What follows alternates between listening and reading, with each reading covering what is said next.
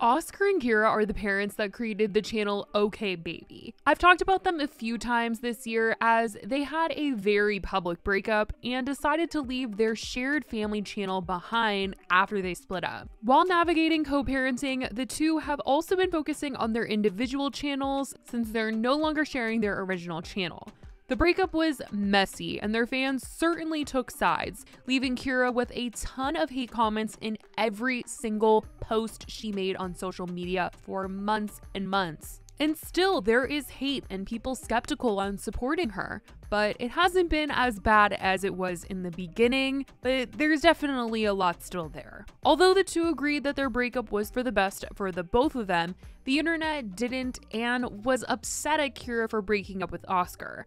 And things got even worse for her when the internet discovered that she later started dating her best friend's fiance, Preston. Some have said that Preston and his ex fiance, Hannah, were actually married, but I'm not too sure on that. All I know is that Preston and Hannah are not together anymore, and Preston is with Kyra now. Kyra recently admitted to being in this relationship in a series of Instagram stories where she wanted to clear up a lot of the drama and speculation that has been thrown her way this year. I talked about this in my last video, but she said, I did not cheat on Oscar Oscar, we had a ton of problems behind the scenes and had a few times prior to this that we almost broke up, which also includes him leaving me. Preston did not leave Hannah for me. Hannah and I are no longer friends, although I truly love her and think she's one of the best people to ever walk this planet. I am dating Preston and we have been seeing each other since March of this year. Sometimes friends that are there for you in tough situations turn into more. And now that she has admitted to this relationship and it's not a secret anymore, people wanted to know if Oscar was now going to start spilling his side of the story of the breakup. Since he hadn't said too much about what's gone on in Kyra's life, he did kind of have a slip up one time on Instagram Live though. He was in Orlando, he was visiting Kyra's former best friend Karen and her husband Kwa, and he kind of slipped during the live and made it known that Kyra was seeing someone. Uh, does Kyra have a boyfriend? I don't know. I don't know if it's official. Turn that off, dude. Turn that off right now. I'm too drunk. Get off of there, Karen.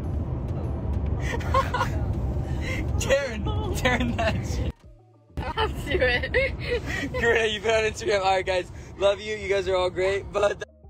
But after that, he hadn't talked about her personal life again. I'm sure they probably had a little argument about that because she did not want it to be known she was seeing someone because she was already getting so much hate before people found out that she was with Preston. But once people found that out, she was getting even more hate on top of that.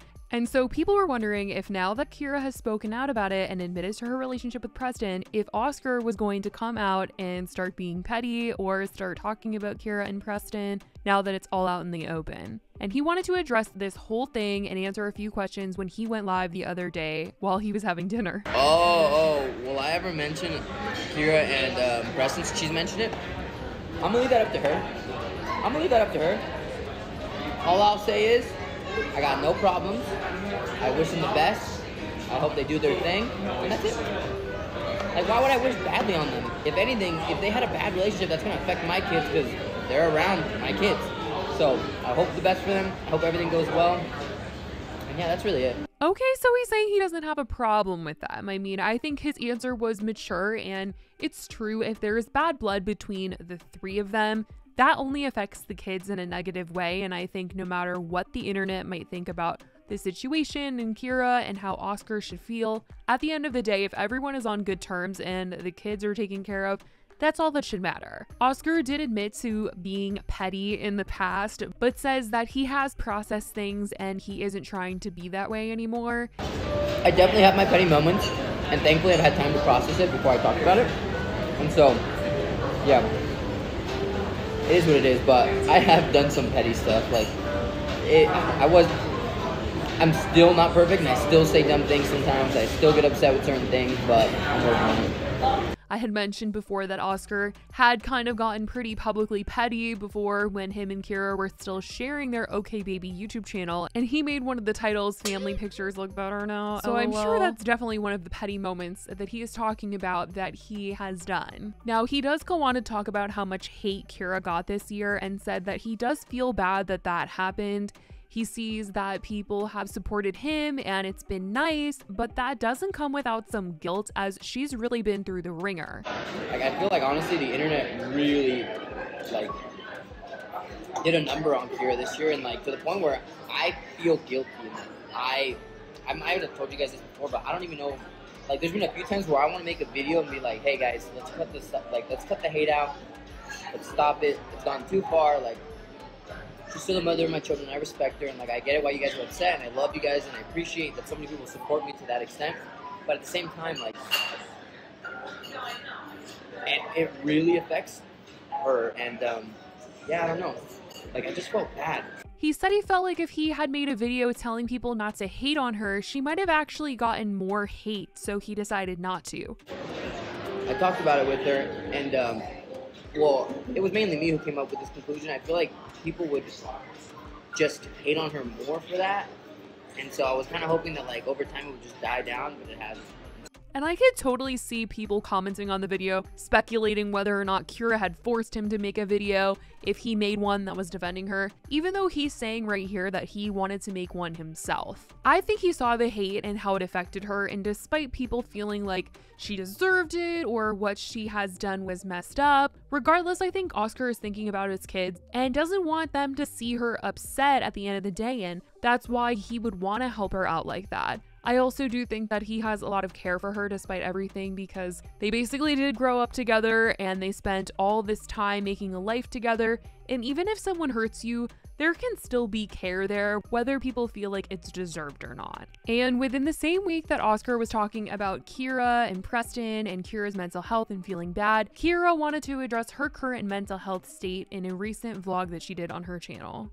This year has obviously brought on a lot of new obstacles with my mental health just from going through a separation with the father of my children and somebody that I really do care about and appreciate and that I've spent the last seven years of my life with. So that was really hard. And then obviously this YouTube channel that we worked on together as a family for seven, eight years, we stopped doing the millions of hate comments that I still receive on a daily basis. And then just like what normal life throws at you. Like it's just just difficult having four kids, bringing them through that, um, and it being my choice and feeling responsible for that and feeling guilty for that, but also feeling like it's the right choice.